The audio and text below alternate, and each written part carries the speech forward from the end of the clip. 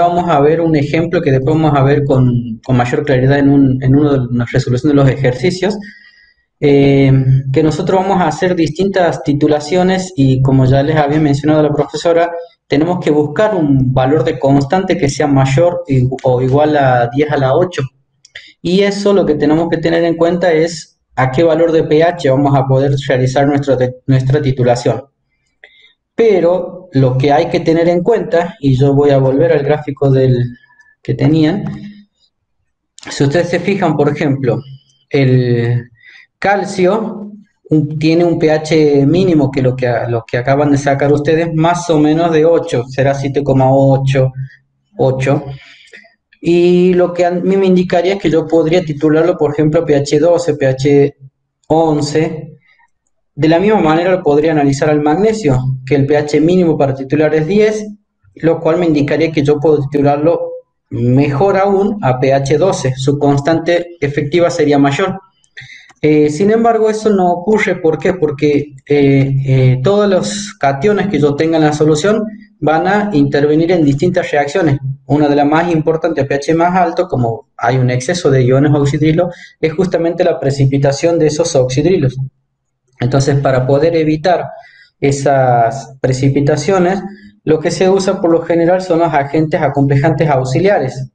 ¿Qué es lo que hacen estos agentes? Lo que hacen es modificar el pH, son buffers. En este caso, fíjense que siempre vamos a tener el amoníaco, pero si es un buffer es porque está presente el amonio también. Entonces, lo que hace es formar un complejo con ese metal, por ejemplo, con el zinc, de tal forma que lo mantiene en solución. Entonces, el zinc, ¿qué es lo que hace? El zinc puede reaccionar con el oxidrilo y formar un precipitado o reaccionar con el amoníaco y formar el complejo. Ahí tienen las cuatro reacciones posibles para el zinc. Entonces, eh, como su constante, en este caso la constante del amoníaco es mayor, es lo que prefiere el zinc es directamente formar complejo y no precipitar. Entonces, podemos ver, eh, a ver Gastón, eso es cuando se trabaja cerca del pH límite. No, Gastón, eso en realidad es cuando justamente nosotros queremos modificar. Nosotros siempre que tenemos que tener en cuenta es que las titulaciones nos tienen que mostrar un salto, así como habíamos visto nosotros en ácido base, que cuando era un ácido fuerte con una base fuerte teníamos un salto de pH muy grande. Lo que vamos a buscar aquí es que el salto de ese P del metal, que en este caso supongamos que sea P de zinc, también tiene que ser muy grande, o el P del calcio. Entonces lo que nosotros tenemos que buscar, ese, ese salto depende de la constante. Entonces tenemos que buscar una constante que sea grande. ¿Cómo hacemos para que esa constante sea grande? Yo voy a volver a donde he hecho el cálculo. Fíjense aquí que ustedes tienen que la K efectiva ¿sí? La K efectiva tiene que ser mayor para hacer la titulación a 10 a la 8. Pero, ¿qué quiere decir? Por ejemplo, el hierro tiene una constante muy grande, es decir, que yo pH 2 lo puedo titular, pero si lo titulo a pH 6, por ejemplo, por acá, la constante va a ser aún más grande. Voy a tener una constante muy grande, ¿por qué? Porque lo que aumenta es justamente el valor de alfa, de alfa 4. Es decir, yo podría hacer hacer una titulación a pH 12. Sería lo óptimo hacer una titulación a pH 12 porque a ese valor de pH el alfa 4 es igual a 1. Pero el inconveniente está en que me pueden precipitar algunos iones. Entonces, por eso lo que yo busco es que cuando yo lo lleve a pH, cuando maneje el pH, ese agente buffer forme de alguna manera algún compuesto que hace que, me, que no me precipite el, ion que yo es, que lo necesito analizar, que en este caso sería el zinc. Entonces forman esos complejos y para hacer un balance de masa, es decir, yo siempre voy a hacer el balance de masa y el balance de carga, que no lo hemos visto mucho, pero lo más importante el del masa, yo tengo en mi solución, sería la concentración total de zinc que la vamos a simbolizar como C de zinc, y eso me indica la concentración de zinc en todas las especies. Es decir, al zinc yo lo tengo como zinc metálico, como zinc formando complejo con un amoníaco, zinc con dos amoníaco, con tres y con cuatro. Entonces, haciendo uso de las constantes que yo tengo aquí, ¿sí? fíjense que constante K1 me relaciona justamente la concentración de zinc libre, amoníaco y el complejo, y así todas, fíjense que como denominador siempre voy a tener zinc libre y amoníaco, cada uno de los amoníacos elevado a su exponente correspondiente. Lo que hago es reemplazar directamente ese valor de constante y en lugar de poner la concentración de complejo, lo redefino como el producto entre la constante, la concentración de zinc y la concentración de amoníaco. Y eso hago para todos los complejos que tengo aquí presentes. Eso, que no es muy importante que lo sepan, eh, obtenemos luego un valor de una sumatoria directamente, sacando factor común el zinc, de todos los valores de constante que ustedes han visto, las constantes globales, o sea, beta. Lo que sí es importante que sepan ustedes es que así como hemos definido el alfa 4 recién para el ETA, el alfa de algún monopro, de, un, de un poliprótico en ácido débil, eh, también podemos definir el alfa del zinc. Entonces, es importante que siempre tengamos en cuenta a qué vamos a hacer referencia cuando hablamos del alfa. Entonces, el alfa de zinc va a ser justamente qué proporción de zinc libre tengo en función de la concentración total de zinc que yo haya puesto.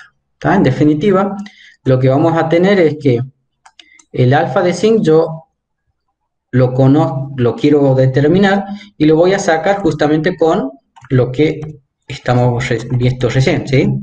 Lo que yo busco es la concentración esta dividido esta que está aquí. Entonces esto pasa para el, para el otro lado y pasa como una división directamente entre 1, que es lo que ustedes tienen aquí. Y eso matemáticamente se resuelve y les queda de esta manera. Este recuadro que tienen aquí el verde es lo que nosotros tenemos que considerar y es lo que ustedes van a tener que calcular también. ¿sí? nosotros le vamos a dar de dato la concentración de zinc, esta, o sea, sería la concentración total, la concentración analítica, a un valor de pH y con una concentración de amoníaco, por ejemplo. Entonces, fíjense que el alfa de ese metal, esta es la ecuación general para cualquier metal que forme complejo con algún ligando, es directamente la inversa de esta sumatoria, ¿sí? O sea que es las constantes globales multiplicada por el ligando S, que por lo, por lo general siempre va a ser el monodentado, que lo vamos a trabajar al amoníaco, entonces es por la concentración elevada a su exponente. Eso les recomiendo, ya vamos a ver un ejemplo, pero eso lo tienen que hacer, lo van a tener que hacer para resolver los problemas. ¿Estamos? Entonces, ¿a qué me lleva esto? Que cuando yo hago una titulación ¿sí? de zinc con eta, así como está la ecuación aquí, ¿está? Eh, fíjense que yo ya al poner eta de esta manera y no poner I4, ya estoy hablando directamente de una K efectiva, que ya sabemos que está modificada o que cambia por el valor de pH. Entonces, la definición de esa constante es esto, y nosotros tenemos que esa concentración de zinc que está aquí, la, podemos calcular de este lado que sería el alfa de zinc por la concentración total o la concentración analítica de zinc. ¿Estamos? Por esa igualdad que nosotros ya le hemos planteado previamente. Entonces, de esa manera nosotros lo que obtenemos es una constante efectiva prima. Definimos otro valor de constante, que esta va a ser la constante del zinc con eta en presencia de el amoníaco, ¿está? Por ejemplo, en presencia del amoníaco. Y esa va a estar definida por el alfa de zinc por el alfa 4 y la K de formación. Entonces, ¿qué es lo que van a tener ustedes? De la tabla, como les digo, ustedes siempre van a tener que usar las tablas aquí. Ya no les vamos a dar los valores. Antes en la guía le, poníamos las constantes de ácidas, los alfa. Ahora no le vamos a poner, ustedes tienen que ir a usar los valores de las tablas que tienen al final de esta guía. Van a tener el valor de alfa 4. Van a tener la constante de formación del zinc y a este alfa de zinc ustedes lo van a tener que sacar, lo van a tener que obtener. ¿Cómo lo van a obtener? Con esta ecuación. Aquí le pongo un ejemplo. Supongamos que tenemos una concentración de amoníaco libre Recuerden, esto es un buffer, entonces tenemos que tener amoníaco y amonio. El amonio no forma el complejo con el zinc. Entonces me interesa en realidad la concentración de amoníaco libre. Entonces supongamos que tengo una concentración de 0,1 molar de amoníaco y una concentración total o analítica de zinc de 1 por 10 a la menos 3. ¿Cómo obtengo este alfa? Este alfa lo obtengo, el, el L que tengo aquí es el ligando, es la concentración de amoníaco libre. O sea, tengo 0,1, 0,1 al cuadrado, 0,1 al cubo y 0,1 a la cuarta. ¿De dónde saco el valor de beta?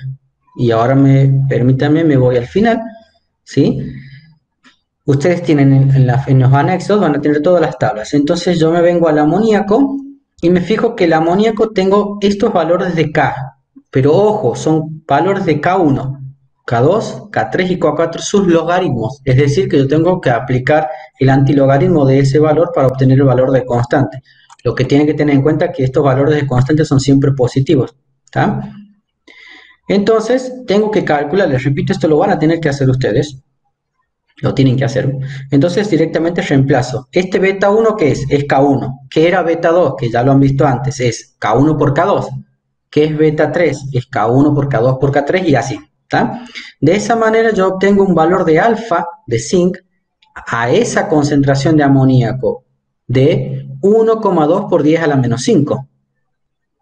Como yo sé que mi concentración de zinc total es 1 por 10 a la menos 3 molar, sabiendo cuál es el valor de alfa, puedo determinar cuál es la concentración de zinc que me queda libre. Es 1,2 por 10 a la menos 8. ¿sí? Fíjense que, de qué manera disminuye la concentración de zinc libre. ¿no? Es decir, que cuando yo tengo amoníaco en, en el medio, el zinc prefiere formar complejo con el amoníaco y no estar en solución eh, formando complejo con el agua. Entonces ahí lo que va a hacer es directamente modificarme mi constante efectiva, que va a ser la K efectiva prima. A ver, después vamos a ver entonces un ejemplo, eh, después les muestro una gráfica, pero ahora vamos a un ejemplo que es el ejercicio número 11 en el ejercicio número 11, a ver, antes de eso, ustedes tienen los ejercicios que son, no se los hago, eh, los dejo para que los hagan a ustedes y después los comparen con este. En el ejercicio 11 ustedes tienen una titulación de 50 mililitros de una concentración de zinc de 1 por 10 a la menos 3, con ETA de la misma concentración a un pH de 10, y les indico que la concentración de amoníaco en este caso es 0,1 molar. Entonces tengo que calcular la los distintos valores de P de en esa titulación. ¿Estamos? Entonces, lo primero que tengo que hacer es calcular el alfa de zinc que lo, acabamos de hacer. ¿Sí? Tienen ahí la fórmula. Como les digo, esos valores de beta ustedes los van a sacar de la tabla. Fíjense, yo tengo en la tabla, voy a tener todos estos valores. Y de esa manera calculo el valor de alfa de zinc. Como yo ya sé el valor de alfa de zinc, puedo determinar cuál es la concentración a los 0 mililitros, cuando no le agrego nada de ETA, cuál es la concentración de zinc libre. Simplemente es alfa por la concentración total. Y de esa manera obtengo un valor de P de zinc de 7,92. Si yo sé eh, de la tabla que el alfa 4 a pH 10, ahí no se ve muy bien, pero bueno, es el valor de alfa 4 a pH 10 y la K de formación del zinc con ETA y ya acabo de obtener el alfa de zinc, lo que hago es calcular la K efectiva prima, ¿sí? Es decir, esta que está aquí. ¿Sí? Fíjense que yo necesito los dos valores tabulados, alfa 4 y K de formación, y el alfa de zinc que yo tengo que calcular y de esa manera obtengo este valor de constante K efectiva prima. Con ese valor es el con el que yo voy a trabajar hasta el punto de equivalencia. Después del punto de equivalencia ya no trabajo con eso y ya la vamos a ver por qué. Entonces supongamos que agrego 20 mililitros de ETA. En esos 20 mililitros de ETA yo lo que tengo que saber es que ese ETA por supuesto va a reaccionar. Bueno, aquí me de ponerle la ecuación, pero la ecuación sería Eh, no, no les he puesto. Pero bueno, sería zinc más eta, ¿sí? Pero en este caso el zinc lo que va, va a estar formando es un complejo con el amoníaco. Entonces, lo que tengo que sacar es cuál es la concentración, así como lo han hecho recién, cuál es la concentración de zinc, así como lo han hecho para el calcio. Es lo que yo he puesto, o lo que tengo son 50 de 1 por 10 a menos 3, y le agrego 20 mililitros de la misma concentración de ETA, y por supuesto tengo que dividirla entre la concentración total. Eso obtengo un valor de concentración de zinc de 4,28 por 10 a la menos 3 molar. Fíjense que esto es el C de 5, o sea, la concentración total. Con el alfa 4, con el alfa de zinc, perdón, obtengo un valor de concentración de zinc libre de 5,14 por 10 a la menos 9, por lo que me da un P de zinc de 8,29. ¿sí? Recuerden que siempre que es P es menos el logaritmo de esa concentración. Ahora en el punto de equivalencia, es decir, cuando agrego 50 mililitros, lo que yo tengo directamente es la formación del complejo zinc con eta. ¿Qué concentración se me va a formar del complejo? Y bueno, justamente la cantidad de moles va a ser ni más ni menos que la cantidad inicial que yo he puesto de el zinc.